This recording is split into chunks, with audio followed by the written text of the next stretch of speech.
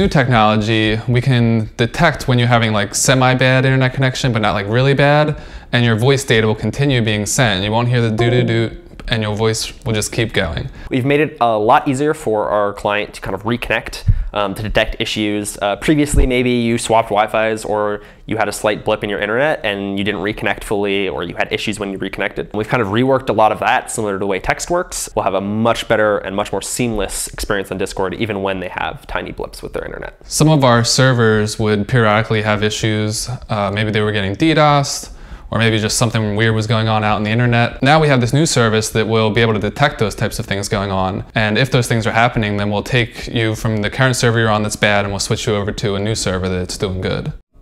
When your server with your group of friends or your call with your group of friends is having issues, we can seamlessly move you from one region to another, from one server to another, without you having to do anything, without you having to go into the settings, swap regions, things like that. Also, we added more servers from different companies. So if one company was having issues with their servers, then we could just switch you over to the other company that was doing okay. We've improved uh, redundancy so that we can now basically in any region withstand an entire data center going out or entire provider going out. And when one has issues, we can move people to other, uh, other providers. All of this work combined took about four months. Um, and over the past four months, we've been improving, and improving, improving on the, uh, the voice connection uh, experience. This is hopefully a huge improvement um, across the board that will uh, result in more reliable and, uh, in theory, you don't notice it, better experiences.